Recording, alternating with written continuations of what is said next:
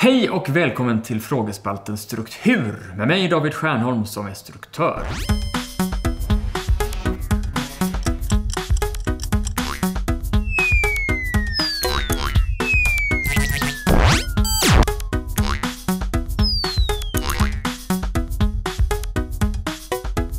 Idag handlar det om att skriva mail nu och skicka det sedan. För jag har fått ett mail just ifrån Åsa. Hon skriver Hej David, jag försöker styra mina kunder till att jag svarar på mail på kontorstid. Men det kan såklart hända att jag sitter och besvarar mail på andra tider. Men sen vill jag välja vilken tid det ska skickas. Finns det något program där jag kan bestämma tidpunkt för då mejlet ska skickas ut? Hälsningar Åsa. Visst finns det det. Mailar du i Outlook heter funktionen fördröj leverans.